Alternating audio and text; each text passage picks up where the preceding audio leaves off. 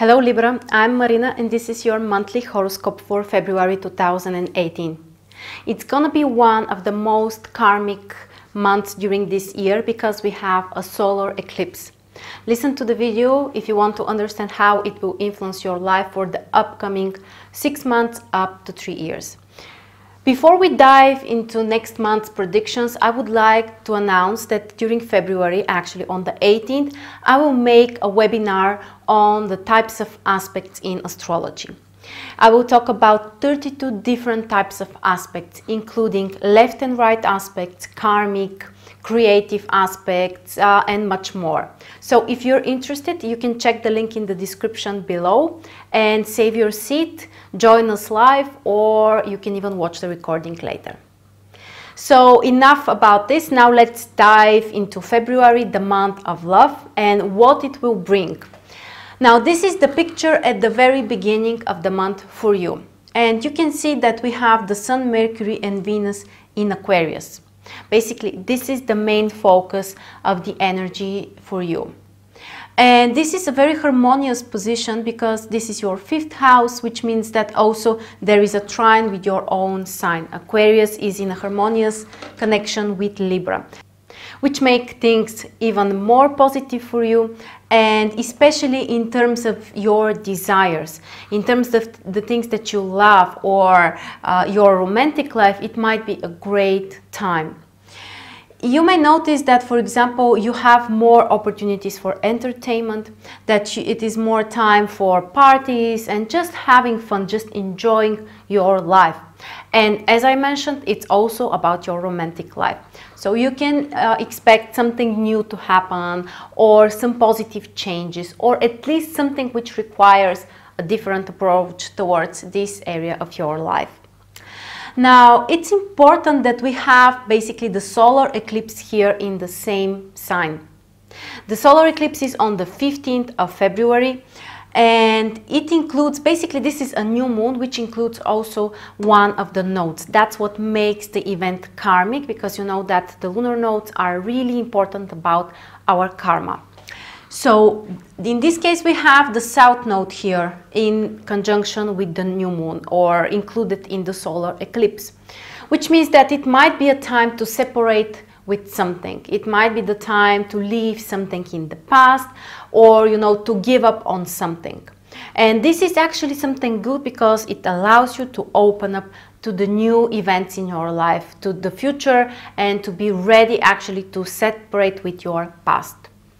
So mostly pay attention on this area of your life. The things that you love, entertainment, your love life, also children and all kind of creative projects. Art, show business, people who work in this area may really feel this period as very productive and very intense. It's important to mention that when the sun is in Aquarius, it will make square with Jupiter.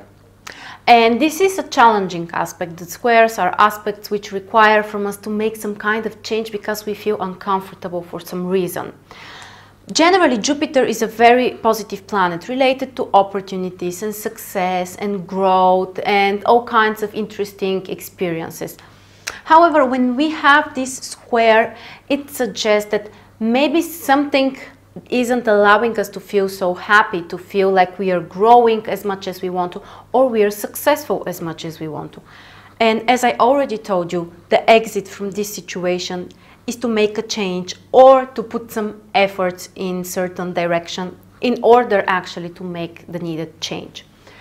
And this combination here, Jupiter is in your second house in uh, Scorpio and with the Sun in your fifth house, means that maybe you will need uh, you will make some unexpected expenses or even if they're not unexpected it might be more than you have planned.